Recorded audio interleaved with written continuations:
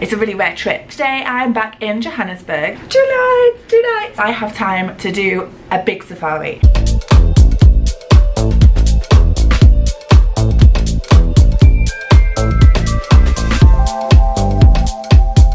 Morning, welcome back to my channel. My name is Nicci and this is Travel with Nicci. I am a flight attendant based out of the UK for a pretty big airline.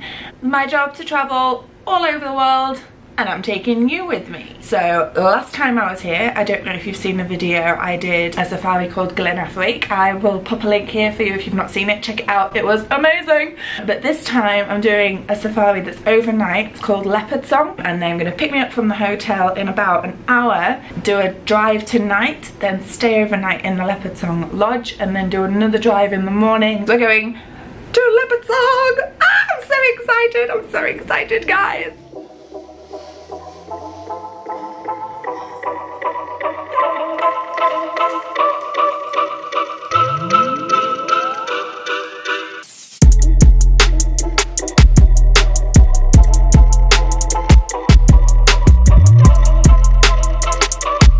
So here I am in Leopardsong. The room's cozy. I've actually got a twin room because I was meant to be sharing with one of my other colleagues on the flight, but she's sick, so she's not here today. So I get two beds. Um, I've got five minutes now to unpack my stuff and then get over to reception. Ah, excited!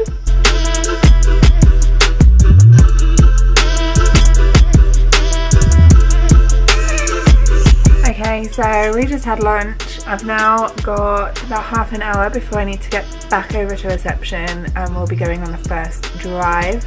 Because it's an evening drive, we get to take some drinks with us. I picked up a bottle of sparkling wine, so I'm going to take this with me. Okay, time is up for a little rest in my room. Heading out now to go on the first game drive. I'm excited.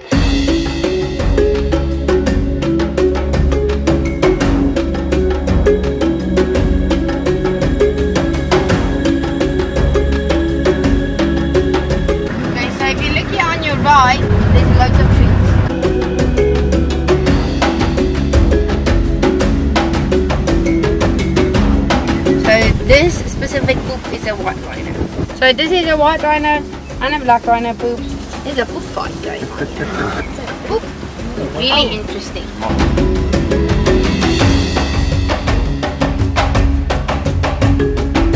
So this specific zebra is called the Burchell's Plain zebra.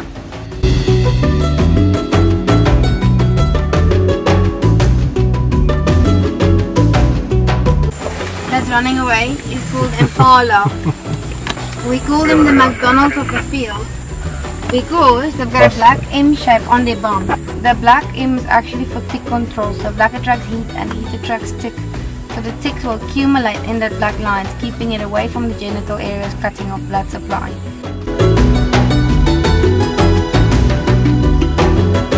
That's me back from the evening drive. We didn't really see too much tonight. Some um, impala and kudu. Going for something to eat now. Then I think it's probably just like drinks and bedtime because the next drive in the morning leaves at 6am. So it's an early start in the morning. Let's go get something to eat.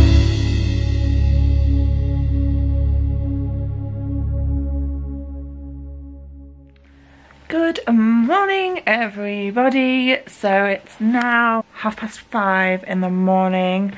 To be completely honest, I didn't sleep very well because you know when you get in your head that there's bugs everywhere and then it makes you itchy? Well, that's what I was like. So I just spent all night like, oh, just uncomfortable. And I actually feel surprisingly fresh considering how little sleep I got. But anyway, I've just got up now.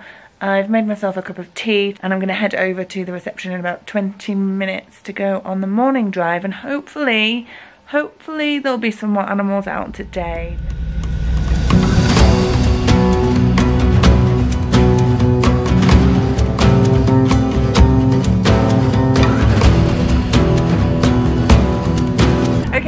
Heard on the radio that some lions, so we are speeding down the road now to get to them. Ah! So they'll eat about 45 kilograms of meat at one go. and then just keep eating until their belly is like this. And then they only have to hunt once a week. They sleep 60% of their life. They are nocturnal, so their eye vision becomes six times better at night time. And then during the day, they just sleep because they're lazy. But if an opportunity arises, they will hunt in the day.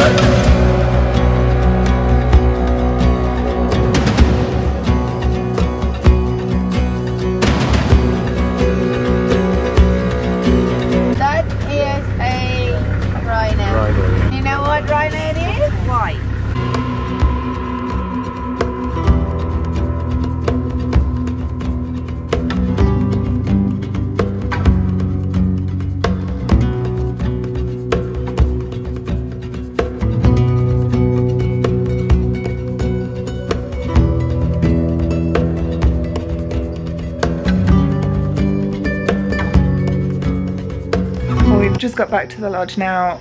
Oh my god, that was amazing. Those lions and the rhinos. That was incredible. That makes totally makes up for not seeing anything last night. Ah, can't believe it. And the lions were stalking the prey as well. They're, oh, oh my god, it was amazing. We're getting some breakfast now. Thank you so much for watching guys. It's been such an amazing experience. It was incredible. You should definitely go. Check out, I've linked some other videos of other safaris over here. Uh, so make sure to check them out. And yeah, I will see you next time. Bye!